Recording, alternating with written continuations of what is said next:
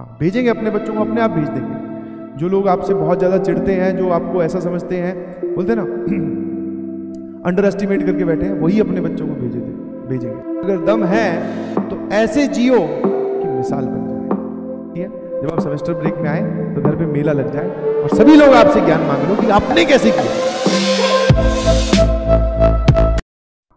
अगले साल आपके मोहल्ले वाले आपकी मिसाल दें आपके मोहल्ले वाले बच्चों को कि देख भाई, इसने भी अपने आप में इंप्रूवमेंट लाया है।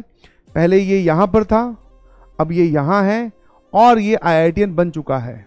वो अपने बच्चों को भेजें कि एक बार जाके भैया और दीदी से टाइम लो। अब वो आए हुए हैं अपनी समर, वो सेमेस्टर ब्रेक में आईआईटी दिल्ली से आईआईटी बॉम्बे से, अभी आए हुए हैं जा जाके मिला एक बार। पूछ की कैसे पढ़ते थे?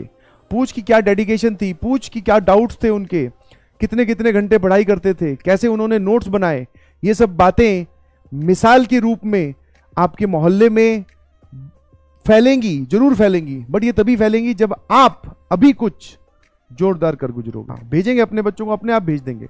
जो लोग आपसे बहुत ज़्यादा चिढ़ते हैं, जो आपको ऐसा समझते हैं, बोलते ना अंडर एस्टिमेट करके बैठे हैं, वही अपने बच्चों को भेजे थे, भेजेंगे।